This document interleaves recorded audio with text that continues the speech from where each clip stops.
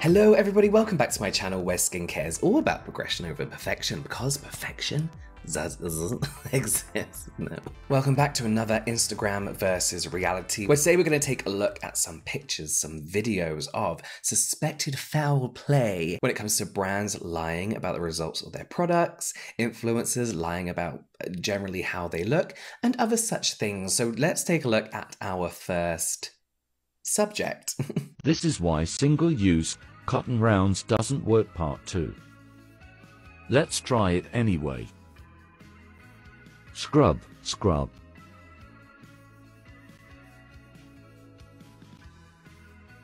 Smearing all around. Let's try last round large.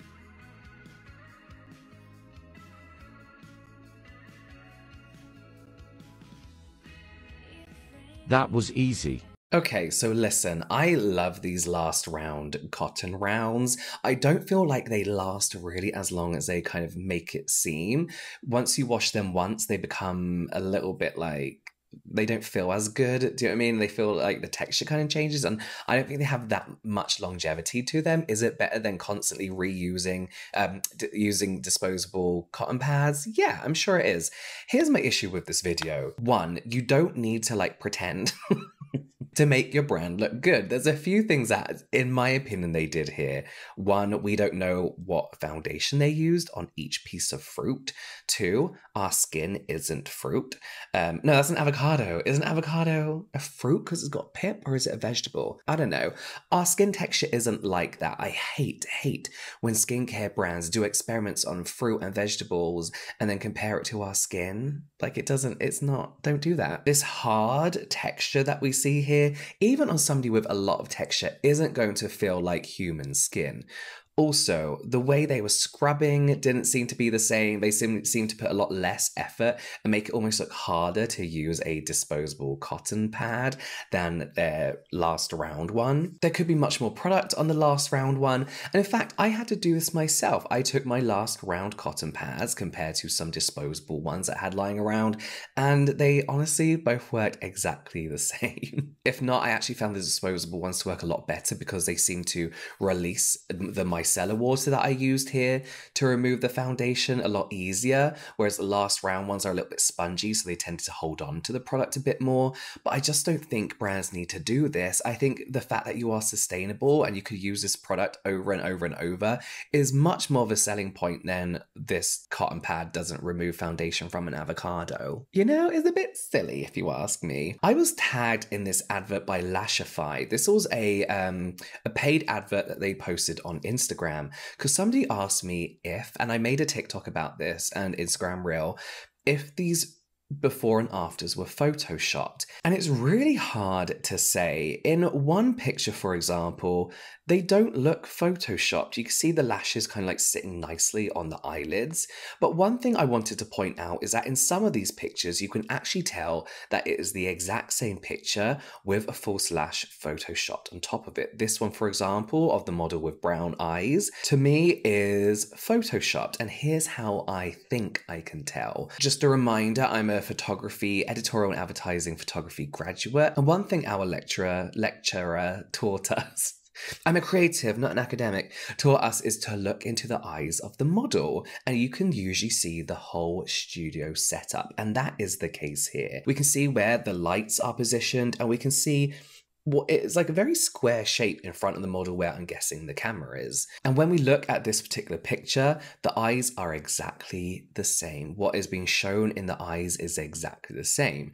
Not only that, but eyelashes are in the exact same place. Usually when things have been messed around, lashes will move along the bottom, that or the angle will be ever so slightly different. You cannot get a perfect situation before and after if somebody's playing with your eyes. So even from here, to here, you're going to get a different angle of the bottom lashes and where they're sitting compared to fine lines, moles, freckles, pores that you see on the model's under eyes. But everything, everything on here is in the exact same position. Also, the lash just seems to be hovering off the eyelid anyway. So to me, this is obviously an eyelash stamp tool, which people used to use way back, mainly in like hair photography when they wanted to add like a bit of something to the eyes. To me, it looks very, very fake. That being said, we can see in this picture here, again, another brown eyed model. When you look into the eyes, you can see the setup of the studio is ever so slightly different. The photographer has gone from standing, sitting, kneeling, oh my God, on one knee to kneeling on both knees. There seems to be an assistant or a makeup artist or whatever to one side of him who is currently, who is like moving. The lights have, have moved slightly and the eyelashes look like they are properly placed onto the eyelid. So whether they forgot to photograph one particular style of lash or couldn't for that day, you know, I don't think it's right for a brand to allegedly, in my opinion, for legal reasons, pretend what the end result of a false lash looks like. Speaking of photoshopping, I saw this on the Instagram versus reality subreddit, and they said, What's wrong with the before? And this is an advert for somebody who professionally retouches. They say, I professionally retouch images starting at 120 per photo. That's very affordable. Personal brands, lifestyle, family, and more. What I will tell you is when someone's saying, No, what's wrong with the before? People don't Photoshop to this extent anymore. They just don't. And usually models like this are sought after because a lot of people prefer what you know what people refer to as real skin on real on real people you know? So people with normal skin normal skin texture tone everything is a lot more sought after than what's underneath.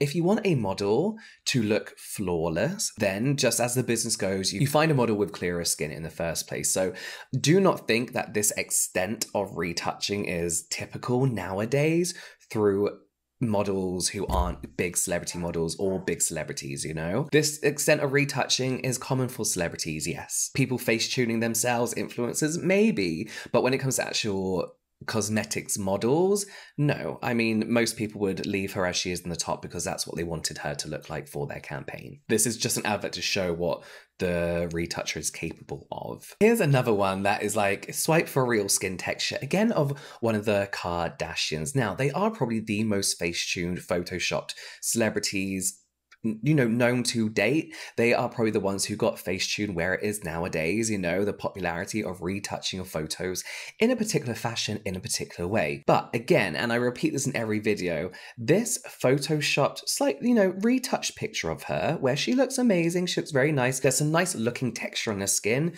but obviously retouched to look natural, versus this picture of her standing underneath very unflattering lighting. And you can see it's almost like catwalk lighting in the sense sense that it's lighting from underneath because you have all those shadows kind of like you know on the top. So instead of like shadowing under here like over the top lighting would do it's shadowing above her chin here. It's shadowing above the like um, lines under the eyes. This is going to be one of the most unflattering lighting setups ever. It's like when people tell horror stories, right? They shine a torch under their face because it looks scary. It pulls this focus into your eyes because there's shadows all around you. It completely transforms your face. And you know, her makeup, this look wasn't made to be lit under.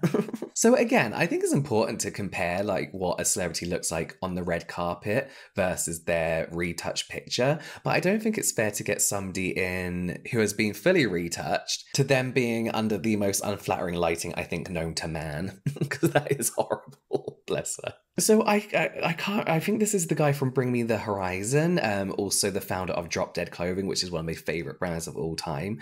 But he started to fo- like face tune himself a lot, and I was sent this so many times. And honestly, I think this is like half, I guess, problematic. But women essentially are a lot better at retouching themselves because they have kind of been forced to be good at it because of how often women feel like they need to retouch themselves more than men do. You know, they are way more scrutinized than men in a lot of different ways, especially when it comes to their physical appearances. Whether you're a celebrity or whether you're not, there's still that pressure from society to look a certain way. So in a kind of like sad way, I guess women tend to, from my experience and from what I look at, tend to be a lot better at retouching themselves to make it look less obvious. Men just go for it. They don't care if the roof is bending in the background, like we see here. They don't care if they're what the curtains moving, if the tree in the background's moving around their arms. I've noticed that when it comes to men, especially who weightlift and gym pictures, they Photoshop, Photoshop themselves a lot, face tune themselves a lot, which is kind of sad because I look at them and I'm like, oh, it would be nice to have a body and a fitter life, a body like that and a fitter lifestyle. But they still aren't that content with where they are. And that's the thing is, to me, weightlifting, all that kind of stuff personally, is a lifestyle. You know, it's not something you do just to like be fit and to get into the shape that some of these men look like. You have to dedicate your life to this kind of stuff. It's just not realistic. I think a lot of them obviously know that, and that's reflected through the constant urge and the feeling that they need to retouch their muscles to look even bigger than they already are, often looking very unnatural. Like in this video, this man is jumping out of the car, his body anatomy doesn't make sense, and you can just see the whole background warping around him everywhere, everywhere. I personally think he's joking, I hope, because it's just too obvious and no one looks like this. And I don't really think being that top heavy is a desirable shape. I don't know. I don't know how gym works. And talking about that, this is um, an influencer called Nathan Hubu, who I've been following for a very long time, and is very well known for his gym and style um, fashion content, but mainly his gym workout videos.